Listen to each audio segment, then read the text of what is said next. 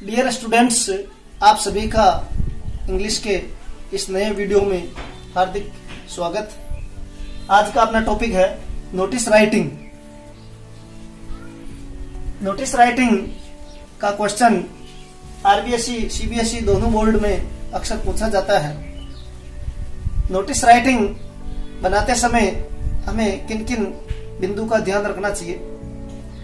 की पॉइंट्स जो कि बोर्ड में दिखाई दे रहे हैं। एक एक बिंदु का विस्तार से अध्ययन करते हैं। आरबीएसई बोर्ड में फोर मार्क्स फोर मार्क्स का एक क्वेश्चन बनता है notice writing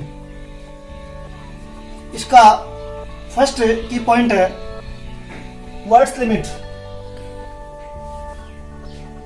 RBSE board senior class के लिए इसकी वर्ड लिमिट 50 वर्ड्स रखी गई है। 50 शब्द।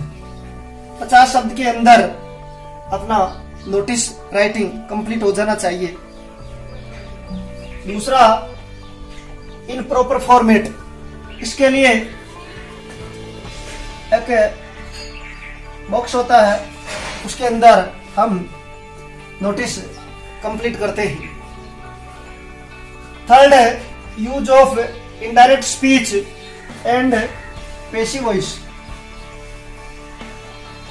notice writing में हम अधिक से अधिक इनडायरेक्ट स्पीच और पेशी से संबंधित सेंटेंस का समावेश करते हैं।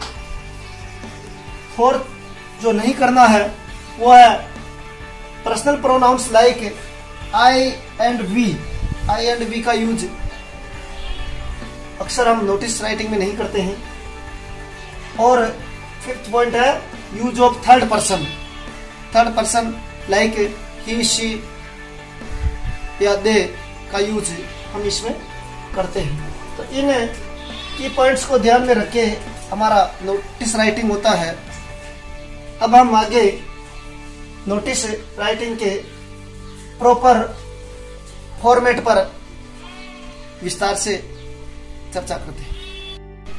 नोटिस के फॉर्मेट में सबसे पहले एक बॉक्स बनाया जाए। जैसा कि बोर्ड में बना हुआ है। और ऊपरी ऊपर नेम ऑफ़ ऑर्गेनाइजेशन नोटिस किस संस्था द्वारा, किस संगठन द्वारा लिखा जा रहा है बनाया जा रहा है, और उस संस्था का नाम यहाँ पर हम लिखेंगे। उसके बाद नोटिस शब्द लिखा जाएगा, और नोटिस किस विषय पर लिखा जा रहा है क्या सूचना देने के लिए नोटिस हम बना रहे हैं, उसका टाइटल या हेडलाइन हम लिखेंगे। और बाद में लेफ़्ट हैंड साइड में डेट जिस डेट को नोटिस निकाला जा रहा नोटिस बनाया जा रहा है, उसका डेट लगाएँगे। डेट के नीचे बॉडी ऑफ़ नोटिस सारी सूचनाएँ जो हम देना चाह रहे हैं नोटिस में, वो बॉडी के टॉपिक पर आएगी। लास्ट में लेफ़्ट साइड में ही सिग्नेचर संस्था के जिस ऑफिसर द्वारा नोटिस निकाला जा रहा है, उसके सिग्नेचर नेम उसका नाम और डेजिग्नेशन उसका पद यहाँ पर अंत में लिखा जाएगा।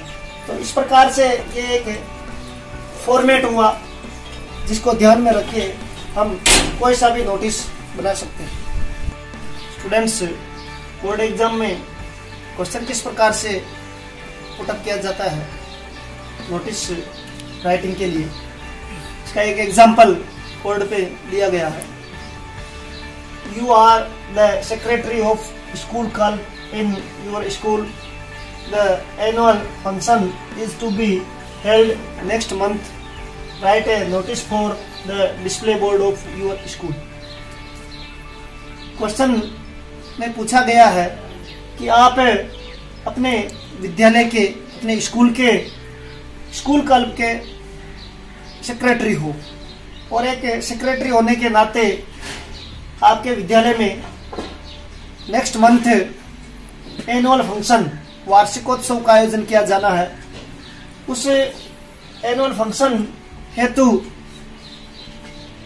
सूचनाएँ या उस एनुअल फ़ंक्शन में भाग ले, ले, लेने के लिए आप अपना नाम कहाँ लिखावें किस दिन होगा इसके बारे में एक नोटिस बनाना है जो आपके विद्यालय के नोटिस बोर्ड पर लगाया जाएगा।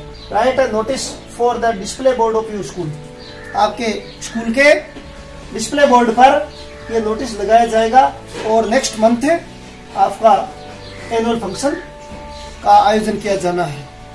दिए गए क्वेश्चन का आंसर इस प्रकार से बनेगा। जीपीएस स्कूल कोटा नोटिस शब्द लिखना यहाँ नाइनटीन मई 2020 डेट का ज़िक्र यह होगा एनुअल फ़ंक्शन जो कि कार्यक्रम डिसाइड है this is to inform all the students that the school's annual function will be held on 1st June 2020 from 11 am to 1 pm at Ravan Chowk. Kota's district collector Mr. Rohit Gupta will grace the occasion as chief guest. Every student needs to collect their passes from their class teacher. Sign Nitin Secretary. GPS school Kota जिस संस्था के द्वारा notice निकाला जाता है संस्था का नाम ऊपरी ऊपर नोटिस शब्द लिखा जाएगा डेट आ गया एनुअल फ़ंक्शन जो कि प्रोग्राम डिसाइड है। सूचना स्टूडेंट्स को दी जा रही है। क्या सूचना दी जा रही है? This is to inform all the students सभी विद्यार्थियों को सूचित किया जाता है कि the school's annual function school का वार्षिक उत्सव will be held on first June 2020 एक जून 2020 को रखा गया है। 11 बजे प्रातः से दोपहर एक बजे तक। स्थान Ravan Chowk.